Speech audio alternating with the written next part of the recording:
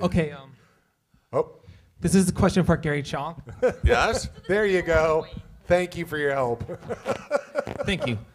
Okay, Garry, um, would it be okay if you could do There He Is My Little Guy? Oh, my little guy. You know, What is that song? How did that song go? I don't know. My little guy. It's when I've got Cheetor sitting there and talking to him and saying, There, there, my little guy. I don't know anything else. Oh, he's getting a cue.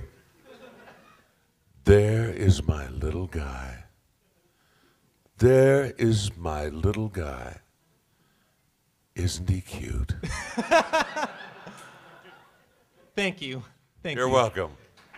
See, what you guys have to remember is when Garry does a movie, he actually takes time, looks at the lines, memorizes them, and those lines take up room in his head. And they're always going to be there. They may get shoved aside by something else, but those Thank you. lines will be there. When we go in and record a voice, we walk in, there's a piece of paper on the stand, we read, and we leave. Nothing gets memorized. You guys watch these episodes again and again and again, and you remember the stuff. So we need every now and then, we need our memories jogged a little bit because we read it one time. You guys have watched it 27,000.